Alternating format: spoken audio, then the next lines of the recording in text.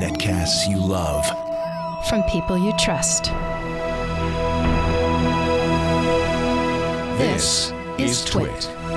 Bandwidth for triangulation is brought to you by CacheFly at C A C H E F L Y dot com.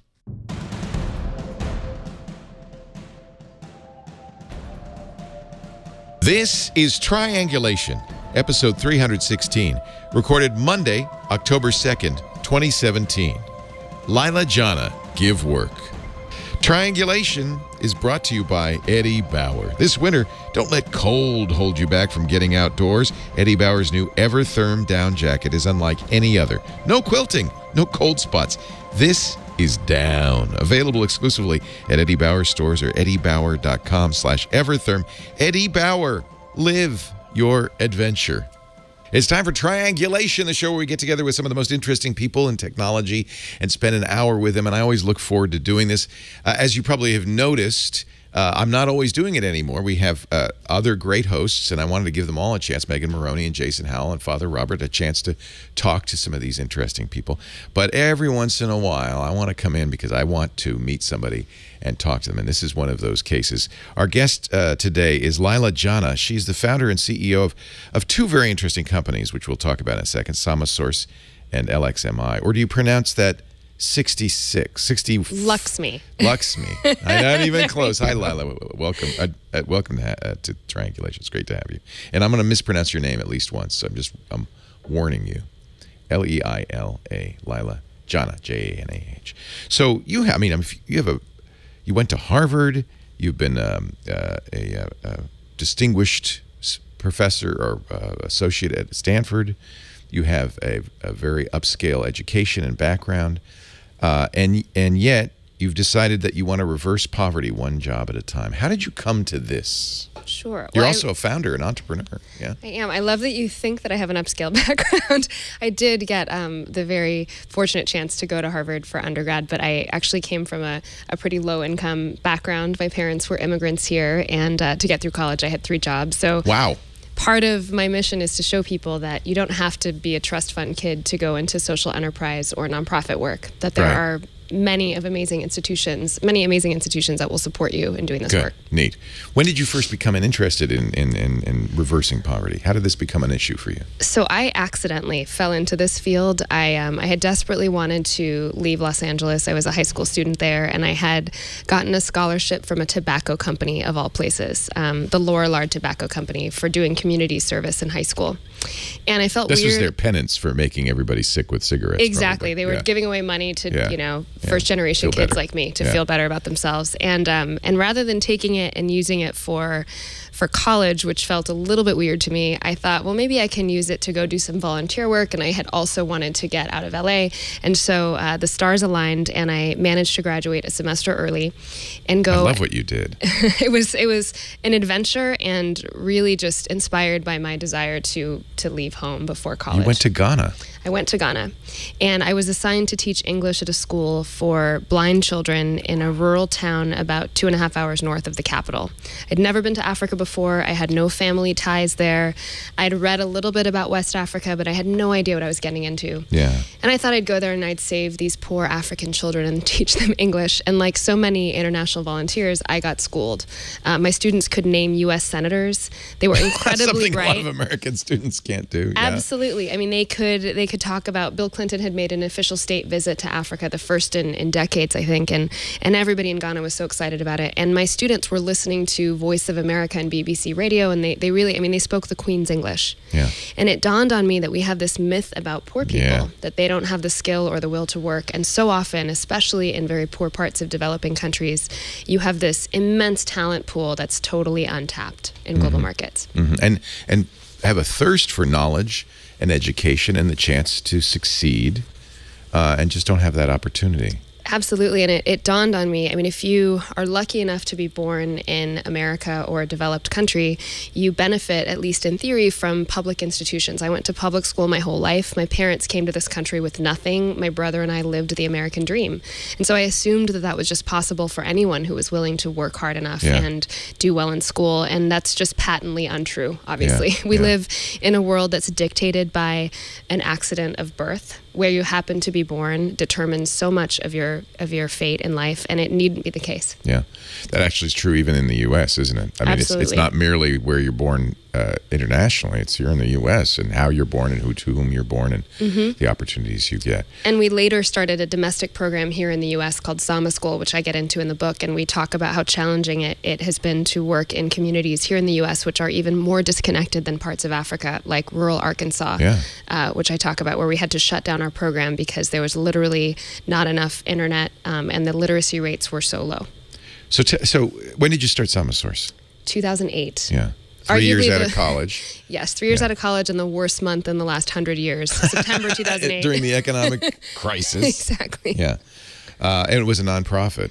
Yes, it's a 501c3. Yeah. And I thought to myself, um, I want to build an organization that moves people out of poverty, but uses the mechanism of the market and especially this new kind of digital work to do that.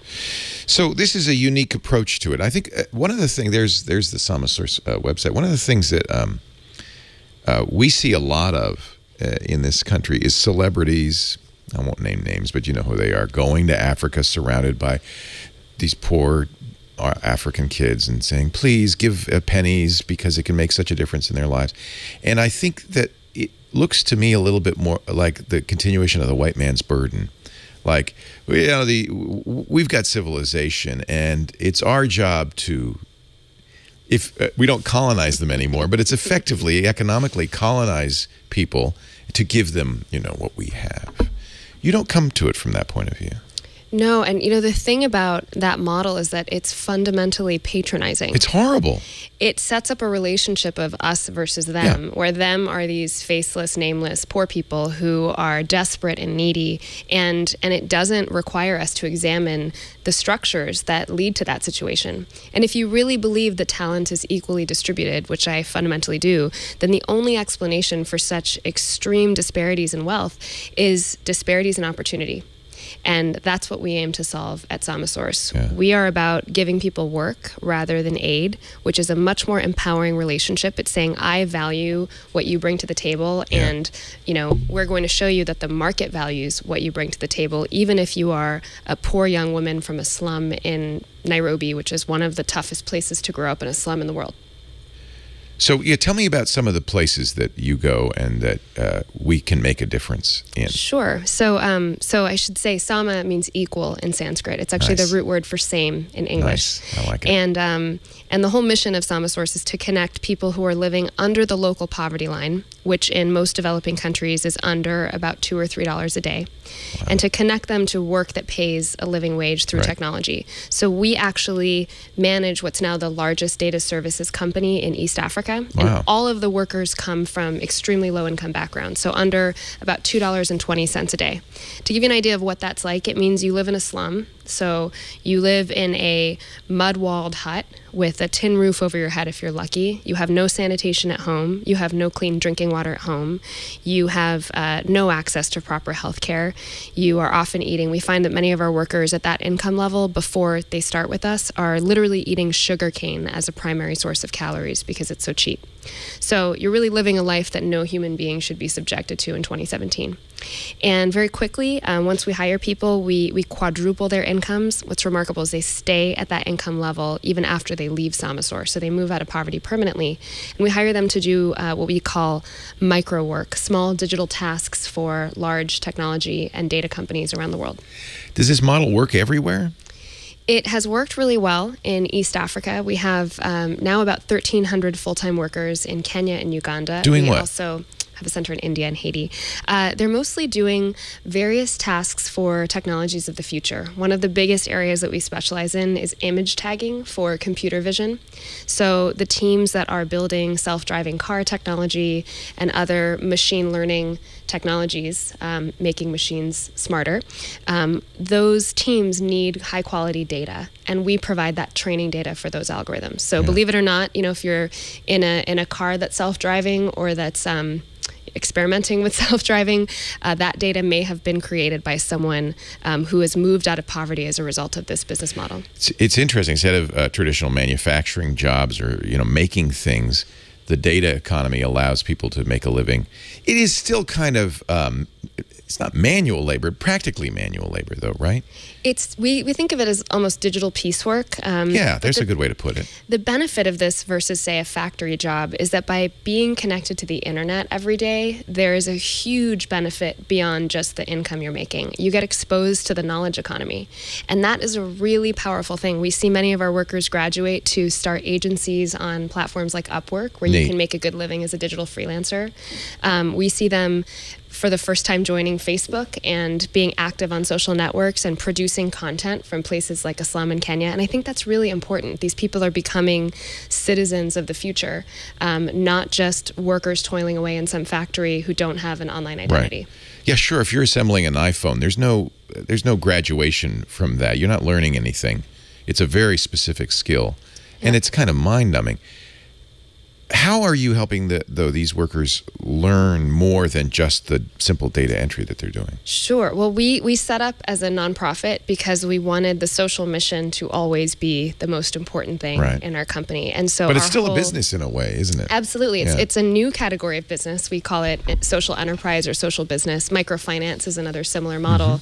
Many people uh, watching the show might be familiar with the. Like Girl Kiva Scouts. or- exactly. yeah, yeah. Um, but even even businesses like the Girl Scouts, the Girl Scouts sell a lot of cookies every year. That's part of a social is a enterprise micro business, isn't it's, it? It's Yeah. a macro business. Yeah. It's probably like Yeah, I don't know how many point. hundreds of millions of dollars of Girl Scout cookies are Right. sold, but um, but it's actually a really smart way for nonprofits to build sustainability into their business. It means that I don't have to be entirely reliant on the whims of, of a few rich people to Right. fund our operations. Although I'm very grateful for the rich people who did fund our operations. Give them, operations. give 'em a plug. Who are your Who are your donors? A lot of our donors are actually large uh, foundations Mm-hmm. and institutions. So Google.org, um, the Rockefeller Foundation, Cisco and eBay foundations. A lot of um, tech companies. It's yeah, interesting. Here in, in the Bay Area, uh, Tipping Point has been a big supporter of our of our San Francisco program. Right. We actually have a domestic uh, offshoot of Samasource as well. And and who are so so they're sitting? Uh, give me a, a, a, a kind of a, a look at what it would look like to be a Samasource employee in, let's say, East Africa. Sure. Well, I'll use a story of uh, one of my favorite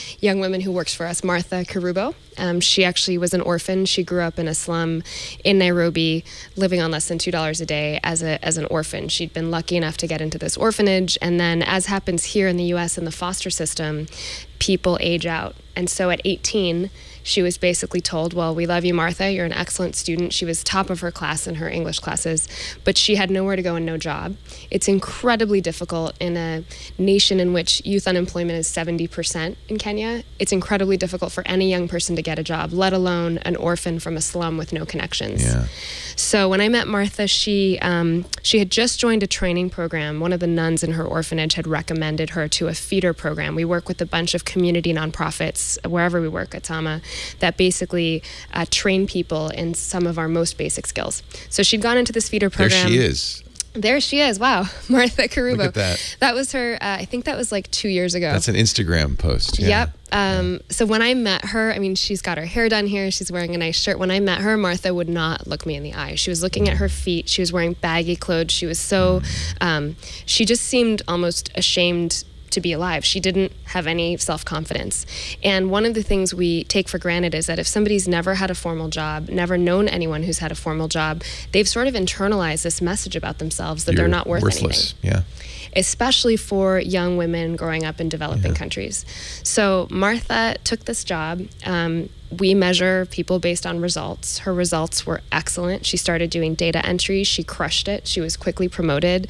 Um, the next time I saw Martha, like two years later, she was wearing a very nicely tailored dress. She'd gone to a tailor in Nairobi and gotten it. She'd done her hair. She was looking me in the eye. Um, Martha since left Samasource and got a job working for a uh, travel agency in Nairobi in marketing. You and I last see saw in her. that picture a confident young woman. You must be. You have an advantage because you're going there as a young woman yourself, a, a role model for them. You see, this is what's possible. Absolutely, and I guess I mean, I mean, if I went there, it wouldn't be as it wouldn't, it wouldn't be inspiring for them, right? It would just be another, you know, imperialist coming here to dole out dollars. Yeah, I think what is remarkable is that um, ultimately, you know, we're all human, and Yeah. when you feel those moments of connection, you realize like we're really all the same, and Yeah, we really want the same things. Yeah. And I think what's what's beautiful about giving work as opposed to giving a handout is it puts us on an equal playing field with the people that we are. We are. I wouldn't even say helping, but the people who we're working working together with. We're teaming up. I think that's so important. It's a pernicious thing, uh, prejudice. And uh, in the developed world, we often talk about the underdeveloped or undeveloped or third world nations, and and and it, it's still it, it- it's it's a little bit uh, uh, uh, kind of hidden. It's a little crypto prejudice because we well when we want to help them we want to help bring them up but it still comes as you say from a patronizing point of view that we somehow have it all going on and and they don't and those poor people and we need to help uh, help them out. So i love the idea of instead of just saying here's a buck of saying let's get you a job. But i asked the question earlier and i want i want to get more of a sense of how do they then transition from you, you must start them out at, at data entry, the simplest possible thing. Maybe do they know how to use keyboards? I mean, are they? Yeah, so we um, we do basic digital training. We So you have a- do some training at, right up That's front. right. We call we have a program called Samasource Digital Basics, and what we've done is we so there's no shortage of nonprofits in many low-income communities. There's lots of pre-existing nonprofits or non-governmental organizations that have training programs that teach life skills. But the problem is that that many of them don't have an ability to connect people to jobs. Yeah. So they might finish this great training program and there's no job at the end. And so we've gone to those nonprofits and we've said, hey, look, we actually have a job. You're adding the next people to piece to the puzzle. Exactly. Yeah. And so we give them our curriculum and we say, teach people these basic skills. And then out of that group of people, we can then select our workers. And what are the skills? And so a lot of them are, are pretty basic digital skills. It's learning how to use a browser, Yep. um, Googling things quickly, um, being precise, and uh, having you know high quality in tasks you perform. So with image tagging, a lot of what we're doing when we're teaching a machine to recognize what's going on in images is simply outlining shapes in that image and tagging them. This is a tree. This is a lane line. This is a human foot. Right. Therefore, the car will stop before it hits the human foot. Right. And so, um, so these are relatively simple tasks. But if you are someone who's only ever worked in the informal economy, which, by the way, this is an astounding statistic, but a billion people around the world work full time. Eight hours a day or more, and still earn less than a dollar a day because they're working in the informal economy. These are the people who are sadly, you know, mining diamonds, Right. um, working in a quarry, Right. uh, selling stuff by the side of the road, working piecemeal in a factory. frankly dead end jobs. You're never going to get to the next level uh, doing that. So what you're trying to give them is a job that they can grow in and get to the next level and and then have skills. Now they still don't have internet at home. Is that So our workers will very. I mean, none of our workers really have internet at home when they start with They don't us. have computers, they don't have technology. No, but very soon they're able to. One of the things we do with all of our workers is we bank them. So by virtue of getting a paycheck from us, they have to have a bank account, and there's a whole process around you know getting financial literacy when you get a bank account. We even partner with local nonprofits to do that. And so what we see is that quickly people become eligible for loans. They start being able to get things on credit. Many of our workers instantly get a smartphone. They move out of the slum. It's quite difficult sometimes to own a computer or any expensive item in there's an no area electricity? no electricity or even if there is you're very likely to have your your small hut broken into Right. there's no of- security yeah. and so um, and then our workers are of course able to access the internet at our facilities anytime and we have um, we have a model called the sama cafe which we developed which is like an internet cafe model where they can stay on their own time and do whatever they want on the internet um, This seems like the perfect solution because you're you're creating something of value. It's a it's a it's literally can be a business, um, but you're also giving something of great value to those workers that they wouldn't get assembling an iPhone or mining diamonds. And what's remarkable is that so the model we have a few different models we've tested at Samasource. So we have this agency that we've we've built um, that does work for big companies that now employs 1,300 full-time workers and has employed about 9,000 people. So about 36,000 people, if you include the families, have moved out of poverty. We just started piloting a version of this, which is a little bit more like a franchise version. So we have this curriculum that teaches people how to do digital work remotely, and it's called Samaschool. You can access the course for free online. We now have 50,000 people enrolled. And this works in places like refugee communities where we can't we can't set up our own facility. We wouldn't have the ability to win client business and place it there. But an enterprising local person might say, "Oh, well let me build a small facility where I train maybe 10 people and we have a little agency that exists on Upwork or one of these freelancer platforms." And we now have seen this operating. We've done a pilot in Beirut with Syrian refugees. There's a pilot underway in Jordan. Somebody did this in Ethiopia with uh, girls who'd come out of high school and didn't have jobs, who were very poor refugees living in Addis in the capital there. I mean, this is this model is theoretically possible anywhere where there's an internet connection and electricity. Interesting. And um, and we've even made it profitable in some places where we've piloted this more kind of franchise version of our model. Uh, we're talking uh, to Leila Janah. Her book, uh, which describes this and more, and we're going to get into it in a bit, is called Give Work Reversing Poverty One Job at a Time. It just came out. It's brand new uh, from Portfolio Penguin.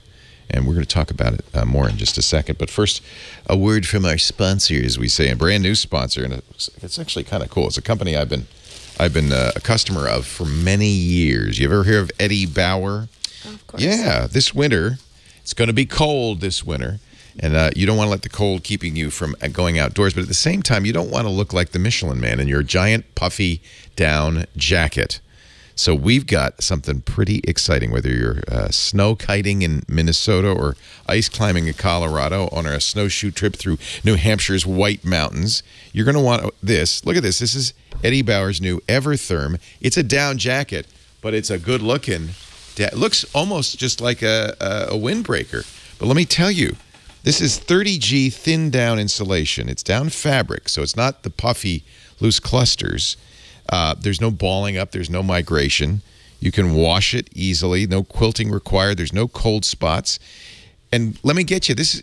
This is amazing. It's going to keep you warm down to minus 15, to 15 below, without bulking up. Down without the puff. It's got a slim profile. It's very light. This is the Men XL. This is mine. Now, I just opened it, uh, and uh, this is 11.36 ounces. It is it is so light. And without the down, without the puff, without the quilting, your arm mobility is fantastic. It's wind resistant. Uh, it includes water resistant storm repel DWR technology. They've got sizes for men, they've got sizes for women. It has been tested by Eddie Bauer's world class guides on Mount Everest, Kilimanjaro, and the Grand Tetons. And you know what I love about Eddie Bauer? All of their products guaranteed for life. Look at the the thermal pattern. I don't know if, if you're watching the video, or you can go to the website and see this at eddiebauer.com slash evertherm. But the, uh, the, the, the IR scan of this, it's completely uniform compared to a down jacket, which has cold spots because of the quilting and the puffs. Live your adventure. Where it's getting cold out there. Winter's coming. Evertherm down jacket from Eddie Bauer. You get it at Eddie Bauer stores, which are always fun to go to, or online at eddiebauer.com slash Evertherm. I know you like winter sports. I do. And I'm going to try snow kiting this year. Are you? I'm a big kite surfer. Crazy. Usually Crazy. in the water though. Wouldn't you wouldn't that be great? I mean, this looks like a it looks like a windbreaker. I would wear that in San Francisco in August also. yes, it's great for summer in San Francisco too, as well as Mount Kilimanjaro. EddieBauer.com. Isn't that nice? It's so light. slash Evertherm. And uh, we thank them so much for their support of triangulation. They want to keep our our viewers and listeners warm this winter. My guest, uh, Leila Janah, is uh, really an inspiration. She's the founder and CEO of Samasource. We've been talking about that. And Luxme Actually, Luxme is not your traditional cosmetics company either, is it? No, and it's so random. I never thought when I first went to Africa and decided I would do this for my career that I would end up selling skincare products on QVC. Um, but you know, That's I where you've seen her, folks. By the way, said, she looks so familiar. Don't admit it, but you were watching QVC. Yeah, Friday Night Beauty. I know that's probably a lot of overlap with your viewership. No, Um, but you know it's on. It's Friday night. You got nothing else to do, right? Look, again, you know, I think the best way to fight poverty is to purchase things from low income people. I love this idea.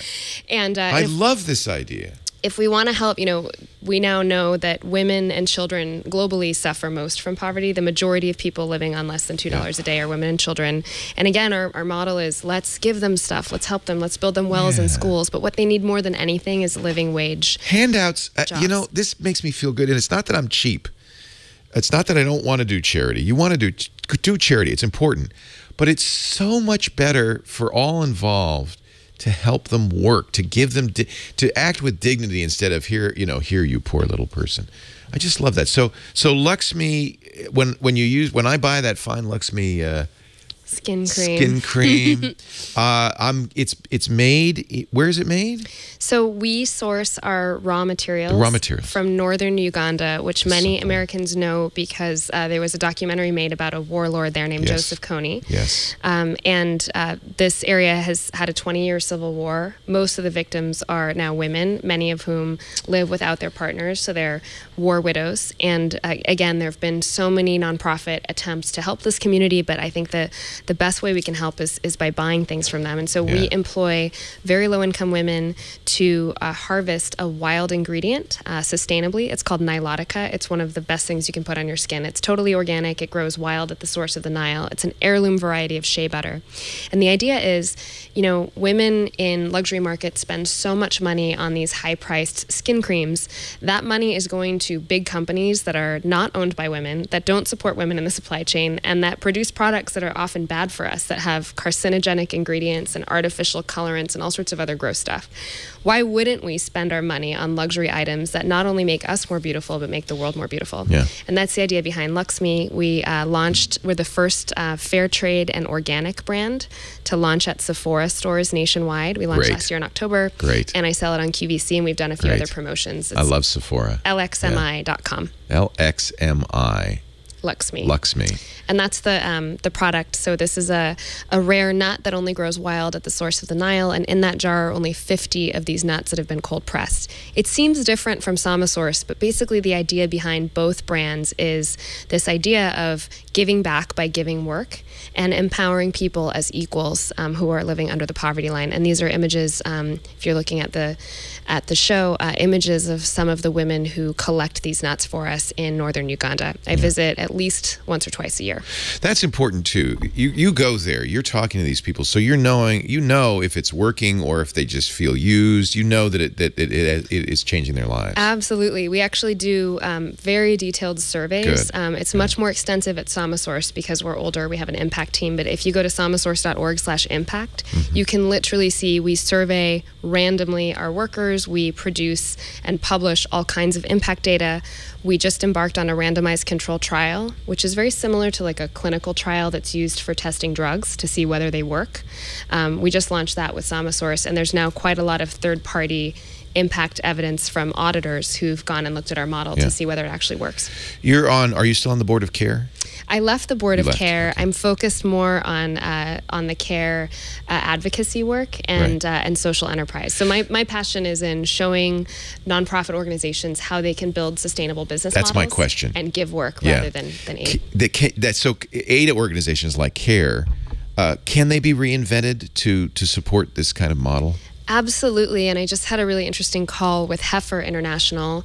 And I this love Heifer. Morning, I bought amazing. a I bought a goat or something. I bought a several. I've bought several goats at Heifer. There you go. And I love the idea. It's give work, right? Right. It's, um, it's give work through livestock ownership, and Yeah. they're really interested. They're actually now starting to invest in social enterprises. This morning, I spoke with Conservation International, which is one of the best organizations preserving the little wilderness we have left on the planet. They are also investing in businesses like Luxme in other ways ways of promoting conservation that use the market as a powerful incentive mechanism to help local communities see the value of wild land. Yeah. And yeah. I think this is the future. So, for so long, we've said, okay, let's make as much money as we can in the private sector and then donate a little bit of that at the end of our lives or on. Yeah, that's kind of the model, isn't it? Yeah. Absolutely. Yeah. And that capital vastly, I mean, it's it, it doesn't it doesn't nearly compensate for the damage that we do in building businesses that don't do good in the world, Right. that actively do bad Right. often. So rather than build a business that pollutes It's that downstream- Lard guilt money, is what it is. exactly. Yeah, So yeah. let's move away from the Lorillard guilt money and and towards a model where we actively solve the problems um, rather than create them Yeah. through the businesses we build. Yeah, I mean, I love the Carnegie libraries, but so uh, is there still a role though for traditional uh, uh, charities uh, and and you know giving charities? Absolutely. So I, I want to make this case. You know, I think that putting down charities or putting down people who want to help is is is wrongheaded. I, I absolutely don't want to do that. I just want to show that there is a way to rethink the traditional model Yeah. in many cases. Sometimes we need aid. For example, in the immediate aftermath of a disaster, people need the infrastructure rebuilt. In fact, the current era of international aid, which is, you know, rich countries sending money to governments of poor countries. That really started, and this is hard to imagine, but that started when the US started sending food aid to Europe during the Marshall Plan. That was when international aid began. We were trying to rebuild war torn Europe. Right. We forget that the original aid model wasn't wealthy white people helping poor black and brown people. It was wealthy white people helping other white people Right, who'd been devastated right. by the war. And and that model, after the rebuilding effort had been complete in Europe, that that uh, aid model switched to focusing on post-colonial economies in sub-Saharan Africa and Asia, and uh, and the current era of international aid began. began. I, I love what you're doing uh, here with Give Work because I think sometimes you know, we all we all have our charities and we all give money, but sometimes it feels impossible. It feels overwhelming, and you really give hope here because you've got a plan that doesn't. It's not just pouring money down a well. It actually builds something and builds something that will have lasting value. I think that's really inspirational. It also, I think what excites me about this model is we're not depending on a different way. You know, we're not depending on people donating all their money. We're depending instead on people being aware that they're voting with their dollars Right. every day. So I think about how apartheid ended. Apartheid was one of the greatest ills of the last century. It really ended when consumers decided to boycott South Africa. Right. In the span of three years in the UK, I read this recently in the 80s. Um, textile imports went down by 35% because a bunch of consumers said, We don't agree with the South African regime. The only way we're going to fix it is by not buying stuff from them and forcing the government to take action and end this horrific Yeah. separation of, of ethnicities. And so that worked. And I think what we're trying to do with Give Work is show people that we can do that. We can use market forces in a positive way as well by choosing to buy from businesses that give work. That's really encouraging. There is this kind of notion of slacktivism that oh, people don't, you know, they give lip service to stuff. Uh, you know, I'm going to buy uh, when I go down. I'm going to have fair trade coffee. You know, there now I've done my part, but it actually does make a difference. Mm-hmm. It totally works. I noticed I actually had fair trade coffee in your coffee room of this course morning. you did. Um, and but we have actually- a choice, so choose fair trade.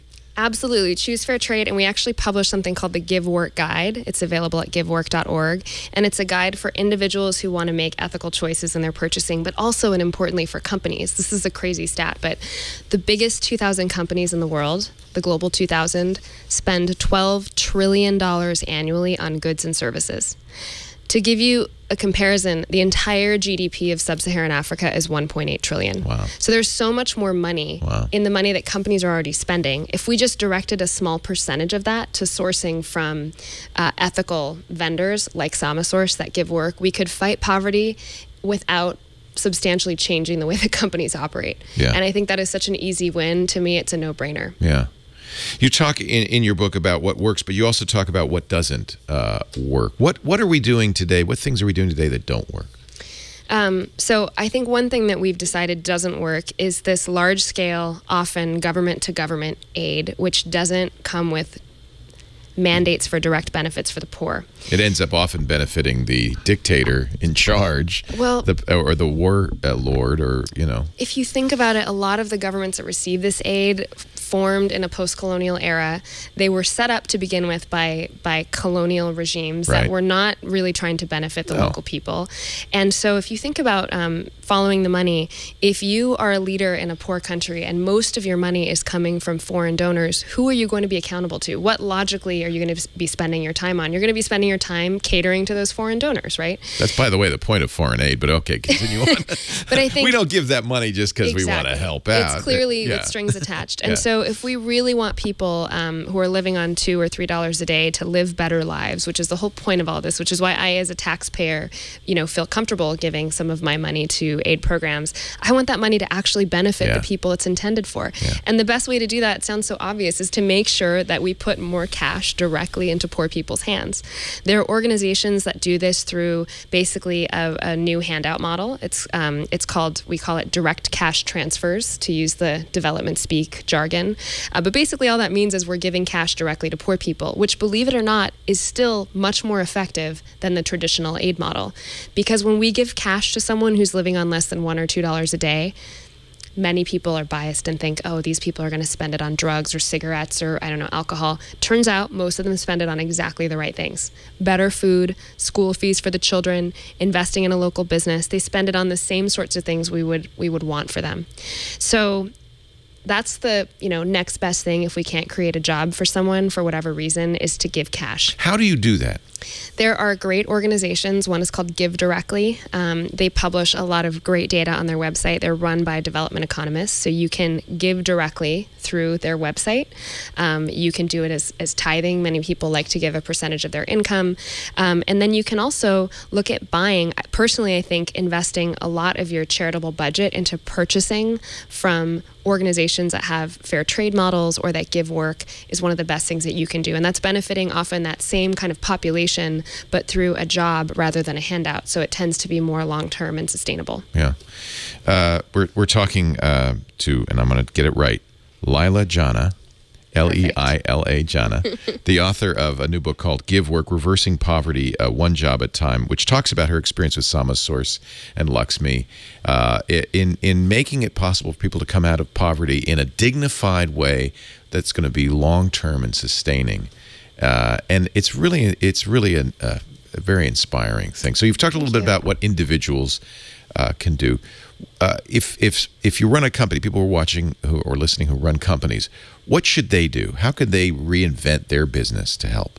So chances are your company spends a lot more money on goods and services than you or your family does. And so if we can get companies' budgets to reflect our values the way that our own budgets might at home, that's the real win. Um, if you think about it, somebody at Microsoft decides what kind of rugs to buy, what kind of lighting fixtures to purchase, what sort of coffee should be in the lunchrooms. All of those decisions reflect the values of the company, right? So if you really value um, equality of opportunity, dignity, humanity, um, integrity, then we should be sourcing from vendors that do good in the world. Yeah. And so that means that you should try to find vendors that promote uh, organic farming, for example, vendors that promote fair trade practices. Fair trade just means that workers who were involved in making something were paid fair wages, which frankly should be the default in 2017. Yeah. Um, still, many of the items that we buy are made in, in conditions that would be appalling for any of us to live under or even see. And so, um, even if we think about devoting 1% or 5% of a company's spend on goods and services to vendors like this that, that What do a good good and give idea! work, And that's an e- it's a it's an easy, easy, thing win. to do. And it's I think it's more effective than saying we're going to write a check at the end of Yeah. the day to absolve ourselves of our sins. Yeah. um, it's Yeah. so much better to to put into practice our values with the way that we spend our money. Somebody f- I forget who famous said that um, our values are reflected in our budgets. And it's true as individuals, and it's just good. as true as, as companies or even nations. Yeah. Uh, I guess social socially aware investing too, that kind of thing. Absolutely. So I, I come into contact with a lot of really cool startups. I was just a, um, a judge for a business plan competition in, in the Netherlands. They are so advanced in this regard. Um, and they have the largest sustainability prize. So these are businesses that are for profit, that are investable businesses that are doing really cutting edge things. One company there was developing a plastic based out of bioresin, so completely compostable plastic. Nice. They can actually make kiteboards with this plastic. They can make um, particle board, which is one of the biggest, um, actually one of Because of the formaldehyde and the. formaldehyde. It's, it's Yeah. horrible. It's totally Yeah. unsustainable. You can't compost those boards. You're taking up all this wood. Imagine if you could have compostable particle board in your IKEA furniture. Um, so these are the sorts of businesses that we can choose not only to purchase from but to invest in. So any tech investors listening to the show, there are tons of really amazing new enterprises where you get a double win. You get you know, a business that will eventually become profitable and give you a return, and a business that's actively doing good in the world. And I think you can even combine money that you would spend on philanthropy uh, into impact investing. So combine your for profit and nonprofit investments into one and choose businesses that achieve a social goal as well as just a profit goal. it, it's it's totally inspiring. I, I, the book is called "Give Work: Reversing Poverty One Job at a Time." If uh, a final thought, something uh, that I haven't touched on that you think we should know about? Yeah, so I noticed some of the viewers were talking about what's happening in in the U.S. and I wanted to. Yeah, we should bit. mention that. I, Yeah. Yes, good. So, um, Because we're coming up against a couple of things. First of all, people are going to be out of work. We have our own poverty problems, as you mentioned. There are places where there's no internet, there's no access. Uh, we have some really intractable problems here at home. Can these models work here? Absolutely, and I think we um, we have to admit we live in a global economy. When I buy, you know, pepper at the grocery store, that's made elsewhere. It can't be made in the US. A lot of the things, my coffee, you know, isn't grown here. And so we are as consumers part of a global economy, which means we have a duty to care about people in Timbuktu as much as we have a duty to care about people in Tennessee, I believe. Yes. Because we're actively part of that global Yes. consumer economy. Um, and that said, I think there's this really false divide between organizations that work on international poverty and organizations that work domestically, and it needn't be the case. So often these issues are so similar, right? And we can adapt models that work well here internationally and vice versa. So several years ago, um, I had when I fart when I started Samasource, um, I had really wanted to do something domestically, but I couldn't figure out how to make the model work here. We studied it. We looked at poverty in rural communities. We started working in rural Arkansas and the Mississippi River Delta, and in uh, Merced, California, as well as New York and San Francisco, to see what would work. And we realized that the labor economy in the U.S. is very different from many developing markets.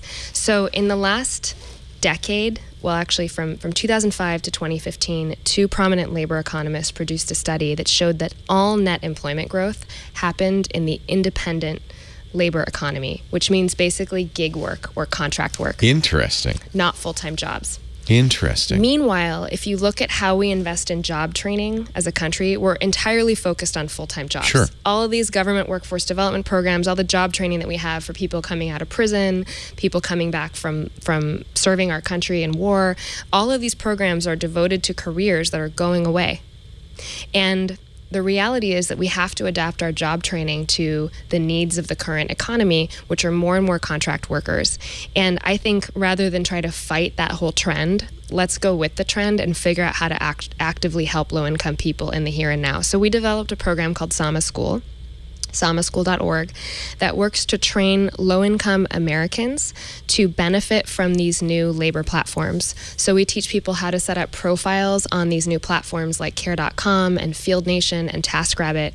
And a lot of these um, companies get a bad rap, but if you actually talk to people living at or under the poverty line, by the way, there are 43 million of them here in the US. Such a tragedy. 43 million people So unacceptable. living on less than the federal poverty line, which is for a family of four, twenty-four thousand six hundred dollars for Yeah. a family of four people. It's just tragic. Imagine living on that in any big city. It's it's No. impossible, right? And so we've found that actually actually a really effective way to get poor people more income is to show them how they can use these platforms to supplement their earnings. So we have all kinds of, of success stories of people who've moved from eight dollar an hour minimum wage jobs where they don't have any flexibility in the schedule they don't develop an online reputation. They can't quickly advance. They go from that to a job where you can make 25 or 30 dollars an hour working on your own time and getting the benefit of an online reputation which most white collar workers we take for granted. If you have a linkedin profile Right. your your colleagues can review you.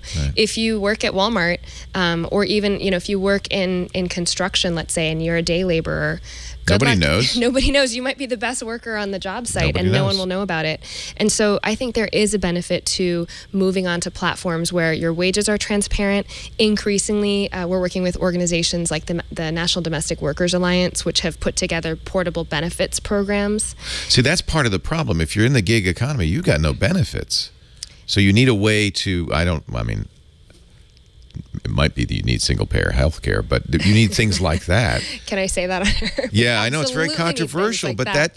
but but the gig economy doesn't work if you can't get health care. So I think part of what's happening is we're undergoing a massive transition domestically, and what we see as our role at Sama is we know the digital economy, we know how to help people get more money very quickly, and on top of that, we know how to work with nonprofits and bring them into this new tech world. And I think what we need to do is modernize job training and modernize the conversation. Um, the traditional jobs are not coming back, and in lieu of waiting for them, we should be actively figuring out what we can do to help those who most Yeah. need it now. We can't. Government's been burying its head, and we have been burying our heads in the sand, and we can't do that anymore because this transition is going to happen whether we like it or not, and we need to be preparing for it.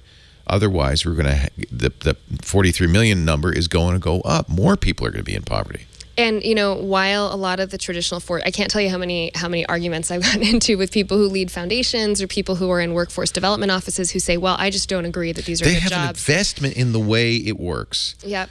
And I the say way it is. you know. whether you agree or not, Yeah. this is happening, and the question is, do you Yeah. want to be on the right side of Right. it, helping How can we make it work? Absolutely, Yeah. and how can we get these companies that are in charge of these platforms, or importantly, the venture capital firms that invest in them, to agree on a code of ethics for how they want to operate? And the National Domestic Workers Alliance has has really done that. They put together a good work code that these labor platforms we we signed on to it as at Samaschool, um, but you know there are many nonprofits that are trying to do that, that are trying to push these uh, labor platforms in the right, direction, and at the same time push government into the direction of saying this is happening. Let's figure out how to actually use these tools to benefit the most marginalized people in our society. It, you got to recognize it's going to happen anyway. But also, we have to rethink because I, th- I think part of the problem, I know the foundations and government, part of the problem is we think of piecework as not being a sustainable long term way out of poverty. We think of it as a way of sustaining poverty. So there has to, has to be a rethinking of what gig work, gig economy is not piecework exactly. No, and you know the other thing that I find frustrating is that if you actually spend time with people who are making minimum wage or less, or people who are unemployed, what you'll find is that they're often doing, they're hustling, they're Right. doing, they're part of the informal have a economy. whole chapter on the hustle. Yeah. Absolutely, and Yeah. and you know I think I think denying denying what they're already doing is is futile, right? So I think part of the problem is a lot of the people who design these programs don't necessarily spend time with people who who need to benefit from them. Yeah. And part of what we try to do at our companies is is look at our beneficiaries as customers. So we actually have a net promoter score exercise that we do. So anyone who benefits from Sama programs actually rates us the same way that you would you would rate a consumer technology. And we publish internally our, our net promoter score. And part of how I evaluate my management team is are the people benefiting from our programs would they actually recommend it to a friend um, and i think we need to bring more of that awareness um, that we have in the tech world about our consumers to the world of philanthropy and, and doing good Well, you're brilliant. I mean, I think that it's it's real. I can't.